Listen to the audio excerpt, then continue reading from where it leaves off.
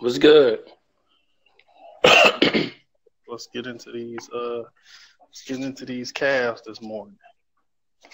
Whoo, boy, we got a lot to talk about these Cavs. Yes, sir. A lot. A lot. Yes, sir. Where you want to start?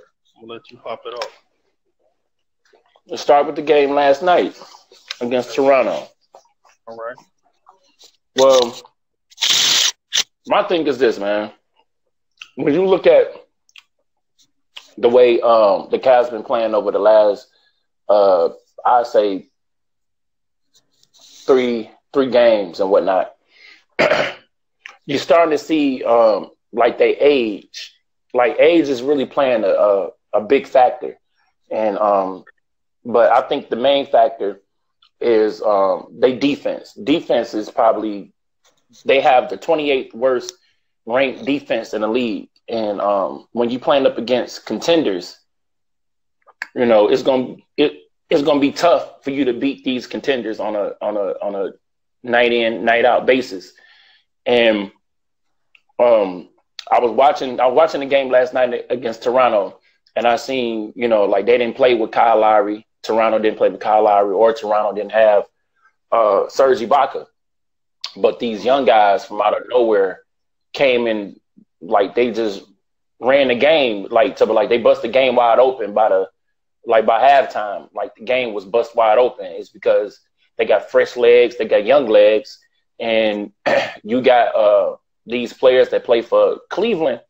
It's like I said, it's like they one dimensional players. And uh, when you look at a player like uh, like Isaiah Thomas and whatnot, you know, like he gonna only give you uh, one dimension, and that's gonna be from the offensive end. So if he ain't scoring, he ain't really helping you at all. Yeah, and he's basically, um, basically more of a liability than a, you know, like he was a negative twenty. His over under last night was negative twenty. So, and he only had four points, two rebounds, three assists. So they probably could have better with uh, Calderon probably could have did better than that. Exactly. Oh, oh yeah, for sure. Calderon could have did a whole lot better than that. You know what I mean? Because it was at one point where uh, Isaiah Thomas was like he was like 0 for 10. He was Yeah, 0 for 10. He shot horrible from the field last night.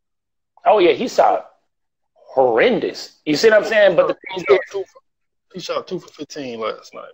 two for 15, man. And and and like and like I don't want to hear something like I don't want to hear shit about he don't got his legs up under him or whatever because the last couple games that he didn't play, he didn't actually went off. You see what I'm saying? but so it's like you can't use you can't use thing shit like that to like to like to like as your advantage when you are a, a LeBron fan, a Cavs fan, they're like, oh yeah, he haven't got his legs up under him Yo, when he already games prior.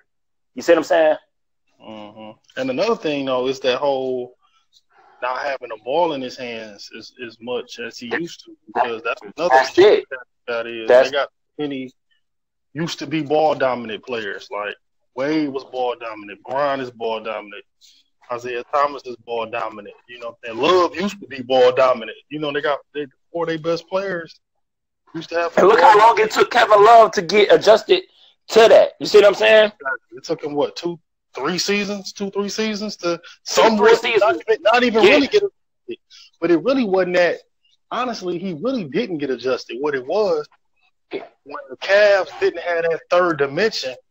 You know, when they didn't have Kyrie, they didn't have that that extra player that make them, you know, a super team. They had to look. They had to utilize Love. So that's why it seemed like, oh, he he good. It ain't that he good. It's that it's not that other person that's taking twenty shots or not. Exactly. That's what it is. So he was Exactly. he was forced to be in the mix a little bit more. So he getting more looks, he getting more touches. There's giving him the ball where he actually wanted it. He's not a stretch four. He's a four that can make threes. Like people keep thinking he's not Ryan Anderson. Like he Right. plays right. and can make threes. He's not a player that just feel comfortable just shooting threes the whole game. Like that's not how he. That's not what he does. Ryan Anderson literally don't have to. You could put uh, uh you could put uh a shock on Ryan Anderson. He'll never step inside the three point line. He fine with it. He, he can stay out there. He can go from three point line to three point line all game. He good. Right. No, yeah. for real. You know what I mean? But and then you, you look at. Go ahead. No, like no, like I was gonna say. See, one of the main adjustments. Look, man, look. I'm gonna tell you just like this. Like one of the main things when you looked at the game last night is what, like what I've been saying all all season is going to be uh the Cavs down point. Like, yeah. Uh, what was you saying? Like I was saying, like when you really get into it, like all season, like they try to make players comfortable where they're not comfortable or or or where they not used to playing. It's like they not used to playing a certain role. So when you look at uh, Kevin Love, Kevin Love ain't used to playing center. You see what I'm saying? Isaiah Thomas not used to playing right. off the ball. And when you look at the game last night, you got my man uh, from Toronto, like the young cat. Uh, I, like I don't know how to pronounce his first and second name, but uh, uh, Sakim whatever. Sakim, you had like mm-hmm. the young guy Sakim, like the African guy, get down on Kevin Love last night. You know what I mean? It's like Sakim had 16 and 8, four assists, one steal. He was 70% from the field, 7 to 10. While Kevin Love on the other end, Kevin Love only had 10 points, nine boards, but he was two for eight from the field. You see what I'm saying? And if you watched the game last night, you saw like how my man was get at Kevin Love. I'm talking about every time he get the ball, it's like he was pump faking Kevin Love, getting straight to the rack. Excuse me, like doing doing what he had to do. And like I'm saying, it's like Kevin Love is placed in a real awkward position. I think going forward because you know, like Kevin Love is a great player, but Kevin Love is a stretch forward. He's not a center. So when you're playing against these teams, you know, that have the centers, it's gonna really hurt him. And just like with uh, Isaiah Thomas, he's starting to play off the ball more because LeBron likes to be ball dominant. LeBron ain't about to play off no damn ball. That's the whole situation of of, of Kyrie wanting to leave Cleveland in the first place. You see what I'm saying? Because Kyrie wasn't able to dictate, you know, what I mean, the floor of the game as he a really, point guard. He, he, LeBron, turned your, LeBron turned your point guard into your two guard. Like he really your oh, yeah. point guard. exactly, exactly. You know what I mean? Like they, they want to get mad at the point guard. They want to get mad at uh, at Kyrie for not doing his job. But how can you get mad at Kyrie for not doing his job when LeBron taking his job away from him? So it's the same thing with Isaiah Thomas. Isaiah Thomas' uh, job in Boston is going to look completely different to, to, to how it look. Mm-hmm. And you see what I'm saying? He going to have to be a wing knockdown shooter. You see what I'm saying? Like that's what he going to have to become. And I don't think he's not looking. He's not looking um effective at all offensively. Like not at all. Not at all. Mm-hmm. It's just like he had a couple games to where it's like it's like I said, he had a couple games to where he looked pretty good. You know, like even like that loss against Minnesota, I don't think he played horrible. You see what I'm saying? I don't think he played horrible. But you know, it's just like it's just still his his effectiveness. You know. So what, what you think? What you think would be a, a, a remedy to the to the Cavs problem? You think it's the way they play, or you think it's just a roster not fit for what they're gonna no, need? He did horrible against what's in that, huh? I say what? So what you think would be a fix for the Cavs? You think it's the roster itself, or you think it's just like how they play? You know, they rotations and all uh, that. I think I think it's I think it's the way they play. Like the Cavs don't have a system. The Cavs don't have a system, man, and uh, it's that your turn, my turn system, and that system. I think, it's the, I think it's just that is LeBron and got so accustomed to beating teams with talent. You know, he was just always yeah. like in Miami. He just had more talent. You he know, had so more talent. Yep. The talent going most talented team gonna win nine times out of ten. Exactly. And I swear, I swear the the, the, the most uh, Nostradamus uh, prediction I ever made in basketball might have been when Miami first teamed up. First, what I say, Ray? I said he better get all the championships he can before the yep, NBA adjusts. Yep. And it looked like the NBA then finally adjusted to the point where it's multiple teams that kind of, you know what I'm saying, that can compete and beat the Cavs or whatever team LeBron on. Because uh-huh. first it was just the Spurs, right? It was the, really the only team. Then it became the Spurs and Golden State. Right. You know what I'm saying? Now it's the Spurs, Golden State, Houston. And this right. year, it's looking like the Spurs, Golden State, Houston, Toronto, Boston, Minnesota, OKC. OKC, you know what I'm saying? It's looking like, you know, I mean, they haven't, have they played? I don't think they played OKC yet, but. No, they haven't played OKC yet. They haven't played them yet. so we have to wait for it. I just think that's what it is. I think, I think and I think the lack of building a team organically come back to bite you when you're looking at teams that got a full mix. Because if you look at every championship pedigree franchise and team, they got old, prime, and young. All yep. the Cavs got is old. Ain't That's no it. young, youthful. It's either like who in they like what name one. It's not one player on the Cavs is in their prime. Mm, nope. It's not one player. It's not one player for the Cavs that's like playing for an NBA name. Like, who am I? So I'm about to show y'all who I am. it's not, not one. player. Not the only player they really got a you got a bunch of over two old overpaid players. Tristan getting 86 to come off the bench. And they not utilize and I think what it is with JR, uh, he, he a rhythm player. If he not getting shots, he not going he gonna be off. That's he it. Not like, right. He not, like Kyle Korver is like Kyle Korver can literally play three minutes and make seven threes if he get enough touches. He is that kind of shooter. J.R. Smith right. is a streaky rhythm player. He needs touches. He needs to have the ball. He need to touch the ball to be effective. He Plain needs to touch the ball to be effective. Yeah, he do.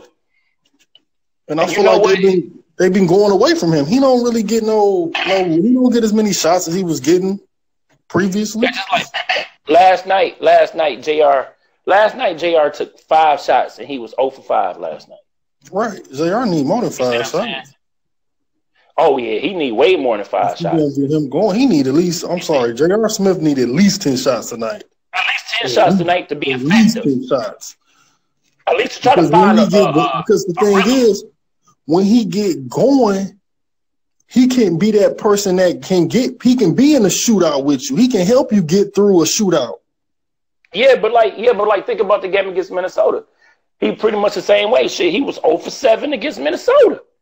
You see what I'm saying? So he, he was he been on a, he been on a, he been on a slump all season though. He been on a slump, dog. 0 for 5. But this but I this mean? another thing though. This another thing though. I'm telling you, a lot of this stuff going on in the NBA, bro, is all adjustments to the moves LeBron made. It just took years for the adjustments. I'm gonna give you an example. Miami, right? That's when right. he started all these shooters around him. Shooter. Yeah. Yeah, but what I was saying though, it's like the difference is in the league now, it's like the best players making the threes. Right. Steph, Durant, Harden, LeBron got to depend on his role players to make threes. But he the one really started the whole wave of it being a three point shooting league. Right. that's how you had right. to beat him. You know what I'm saying? You gotta remember every team that beat LeBron has always been a shooting team. Dallas broke a finals record.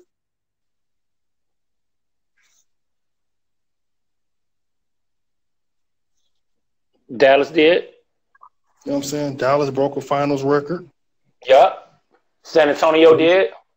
Antonio, Golden State, like you know so then that set the tone. Like, okay, this is what we gotta do. This the this the pedigree. And everybody just been been, you know, you can't get mad at people copying the pedigree. So I think that's that's another reason why the Cavs having trouble because you gotta. You, it's hard to have your role players outduel somebody else's stars.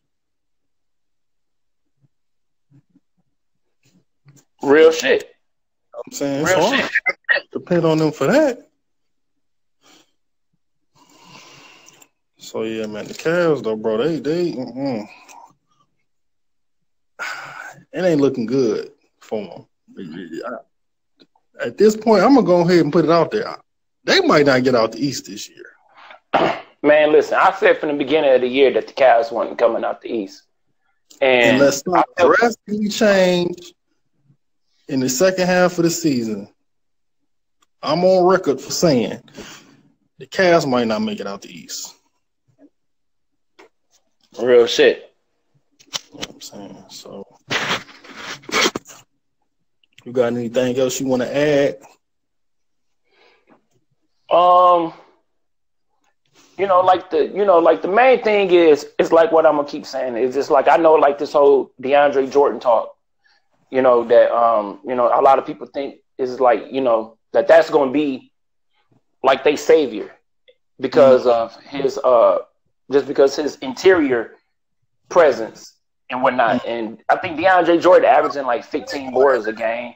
He averaging one block a game you know, but that's not what they need. It is what they need because there's, you know, I mean, like the second chance point. Yeah, yeah. You know, I mean, like the, you know, to get 15 boards, you get second chance points, and uh, I don't know how many uh, uh, offensive boards he getting and, and and whatnot, but at the end of the day, it would like it will help, but at the end, of, but that's not where they. Toronto made 18 threes last night. They made 18 threes right? 18 threes. That's all that's all perimeter defense, man. That's what I'm saying. It's all perimeter. They don't have no perimeter lockdown players.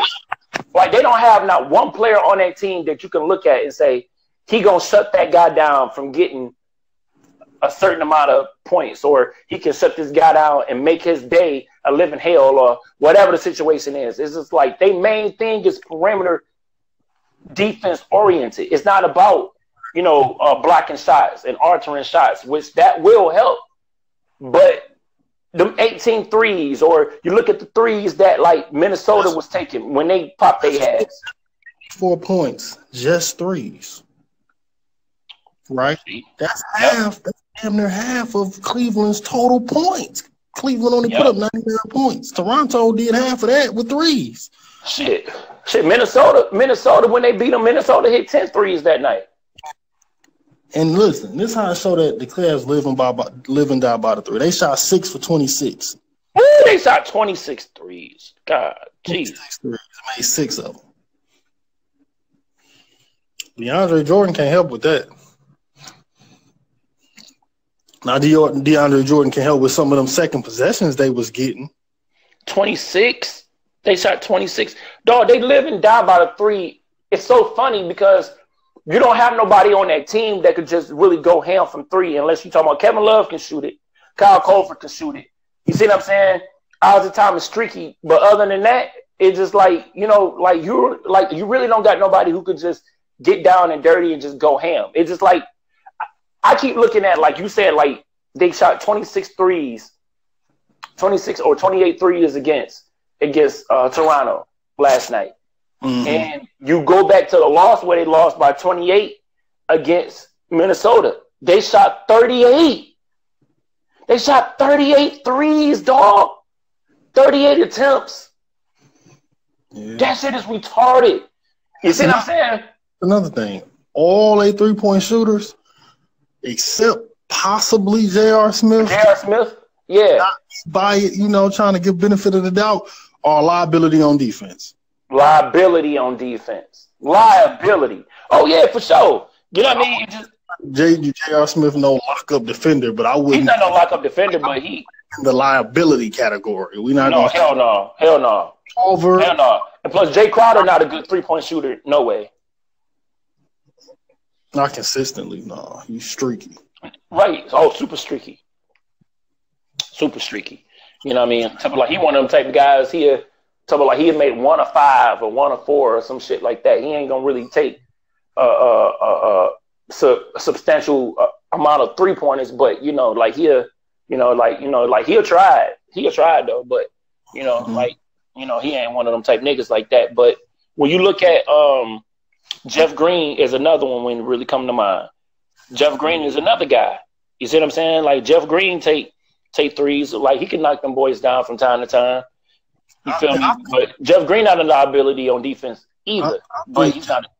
I think I think he need to play more because he he one of the few players that can be effective on both ends of the court. True. He can True. score and he can play D. Let's just keep it funky. The only reason he over there is because LeBron don't want to guard Durant.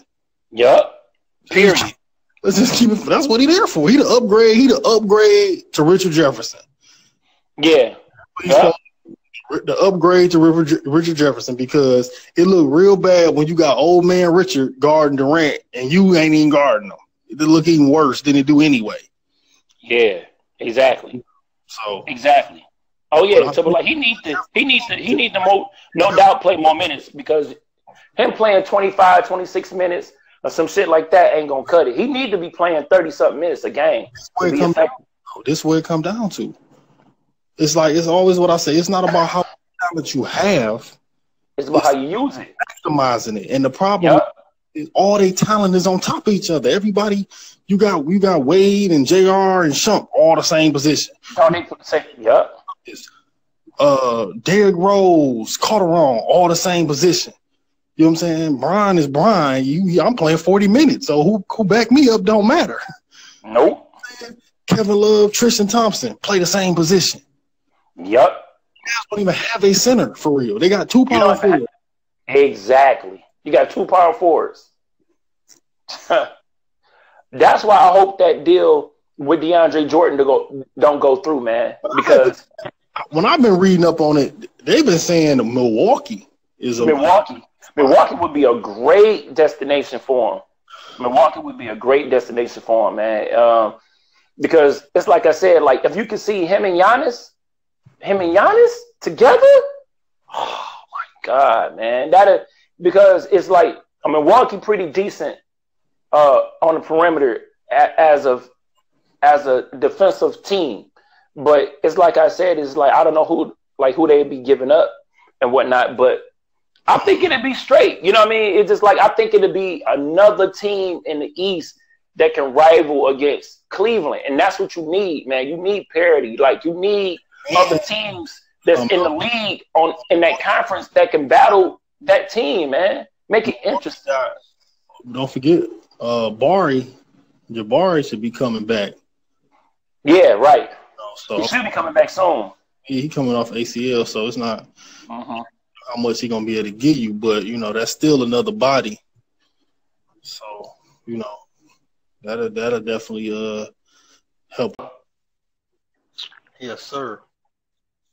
Yes, sir. So that's that. You got anything else for us today? I think I'm about to. So I can. Huh? I said I think I'm about all set as far as any, any other thing I think I can talk about these these morning. Yeah, um, Boston. You know, like um, I like the way that Boston playing too, man. Like honestly, I, like I love the way that they, you know, Kyrie, Kyrie really showing is that you know, like Kyrie really showing that he uh um Kyrie really showing that like he's becoming a leader, and and that you know because at the beginning of the season, people were so hard on Kyrie saying that like Kyrie don't know how to be a leader. Kyrie wouldn't take Boston further uh, uh, further than what Isaiah Thomas did and all the type of shit. Like if if Kyrie ain't that guy, you like you know, and that's something that I never really understood. Like Kyrie not that guy. It was like, well, just the same guy that helped LeBron win a championship in Cleveland. And it's like I keep saying at the end of the day, it's just like I like the way that Boston whole team is is is is formatted. Cause, you know, like they got a player like Jaylen Brown that can do the dirty work and plus my man can score the ball. Like my man actually been uh impressing me because I didn't think he was that good of a scorer. Where uh where like where like he's starting to look better and better. Um, Jayson Tatum, dog. Jayson Tatum looked like a straight monster, dog. Like as a rookie, my man seemed like he one of the most polished rookies that's in the league is just you know like one of one of the most polished rookies because whenever Jayson Tatum shoot the ball, I feel like the ball going in. You know, so uh, you think you think Boston ready to make that next step? Hell yeah. Hell yeah. Hell yeah. No doubt. No doubt. No doubt. Like no doubt I think they ready. Like they beyond ready. It just I feel like this is where it really comes to it. Is when you look at like the teams in the East that's gonna contend, I feel like it's only two teams. And I feel like it'll be three if I feel like it'll be three if Milwaukee end up getting DeAndre Jordan. But Cleveland and Boston. And like I keep saying, defense win championships, and that's in any sport. You see what I'm saying? Defense win championships, man. And if you can't defend, if you, if you can't defend, you can't defend, you can't win championships, man, because defense is the anchor of every championship team. Like that's the pedigree. A defensive staple is always the pedigree. And like I keep saying, is Boston is the defensive team in the now. They are the top rated defensive team in the NBA right now. They are number one in def- and, and defensive efficiency. It's the Boston Celtics. And it's not because of accident. You see what I'm saying? It's because they got a system, man. It's like I'm saying they got a system. And and and and Cleveland is 28th worst defensive team in the league. You know, it wasn't a coincidence why Boston beat Cleveland uh, a couple weeks ago last week. I think it's this new thing with, with like, okay, if you look, it's like the evolution in a way of the league. It's like before the defensive teams couldn't score. Yep. You know, and like when the Bulls was good back with Derrick Rose, they they were always with Tom Thibodeau. You know what I'm saying? They kind of like they heyday. They was great defensively, but they probably give you 80 points. Yeah, but they couldn't score. The 04 Pistons, they could they they could they could they could put if they if you if they get 90, they're gonna keep you to 80. That's the kind of how they play. You're not gonna get 80. All we need is 90 points to win. That's how the 04 Pistons was. Now, shoot, teams playing defense and still going to score 100, 120 points. So it's like, shit. So you can't have a weakness. You got to be able to score, and you got to be able to play D. So it's like, you know, it's like a combination. It's like they they like Phoenix on one end of the court, but then they like, you know what I'm saying? They like the Bulls on the other, the old Bulls on the other end. So it's it's a it's a it's tough if you miss if you lack it in one of those areas to even be able to compete. That's why I feel like the Cavs got blew out by them them top of the you know what I'm saying the top of the top of the conference teams because they all the teams that's that's high in their conference three and up in their conference they're gonna be able to score and they're gonna be able to defend. Right. So, so yeah, it's a lot of problems going on there in the land. It's a lot. Of, oh yeah, a lot of problems. A lot of problems going on going on over there. So yeah we might have to talk about Boston uh, on another day, we might have to talk about the possibility of Boston being the next ones up. You know. But uh, yeah, I think we're gonna leave it at that for the day. All right, cool. You know what I mean? It just, you know, like I just want to close it off and just say, uh, you know, like, uh, you know, like I want to see, I want to see, uh, on Martin Luther King Day uh, next Monday. Next Monday, how the Cavs fare against Golden State. I want to see that. Mm. I want to see that. I want to see that because this right here is going to prove to me if they lose by 30 or if they lose by 10 or if they win. Mm. Uh, I'm talking about the Cavs. This mm-hmm. right here is going to prove to me where they stand. Like you can't keep taking L's. You can't keep taking L's to contenders and then try to overlook it like, hey, it's just it's just January. Mm-hmm. Nah, man, nah, fuck that. You know what I mean? Like we got to stop doing that because if that was Golden State, that was going through this turmoil like how they were last year, you know, at the beginning with uh like with Kevin Durant trying to fit him in. It was never and, this bad though. Yeah, yeah, yeah, yeah. It was never this bad, but it just Yeah, they it was, it was just being exaggerated. Was like, yeah, yeah, right. It was like a right. I'm using an example to how people was over exaggerating. Like, oh my god, who they done? Oh, oh. You see what I'm saying? Mm-hmm. But, but like, but like when it's LeBron, it's kind of a it's just January. LeBron always gonna be there because that's what you accustomed to. Because you're accustomed to having LeBron with these stacked teams in this weak ass conference that can get there. So I just want to see how they gonna fare up against Golden State uh, on the 15th of January, Martin Luther King Day, and see how they play. So, right, you know, well, yeah, we're gonna have to come back and talk about that then after that game. So, uh, yeah. all right, cool. All right, we're gonna leave it right there. All right, man.